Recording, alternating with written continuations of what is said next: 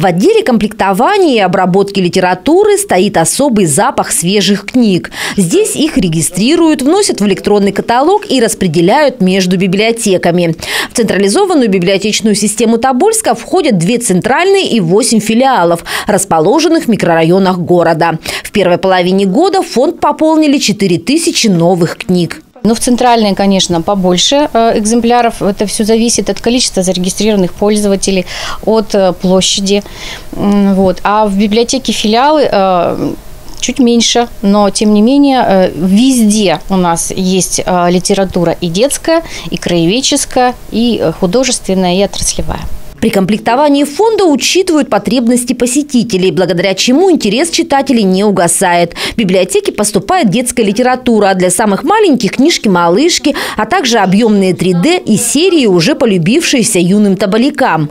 Для взрослых – краеведческая литература и классика, произведения, получившие литературные премии, а также книги известных и современных авторов. Чтобы каждый мог познакомиться с новинками, библиотекари организуют виртуальные выставки. О новинках э, можно узнать э, на нашем официальном сайте в разделе «Почитайте». Там вот как раз представлена новая литература, э, интересная литература, которую можно прийти и почитать. Также у нас на сайте есть электронный каталог. Если вас что-то интересует, вы можете вбить название книги или автора и узнать, есть эта книга или нет, и уже прийти и взять. Библиотеки Тобольска ежегодно проводят ревизии своих фондов.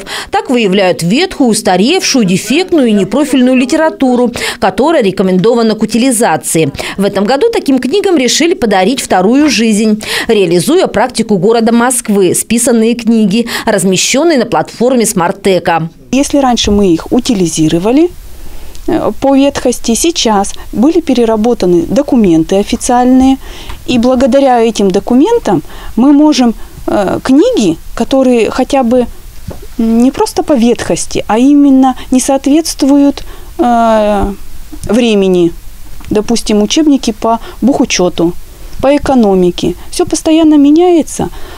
Эти книги мы можем подарить э, читателям.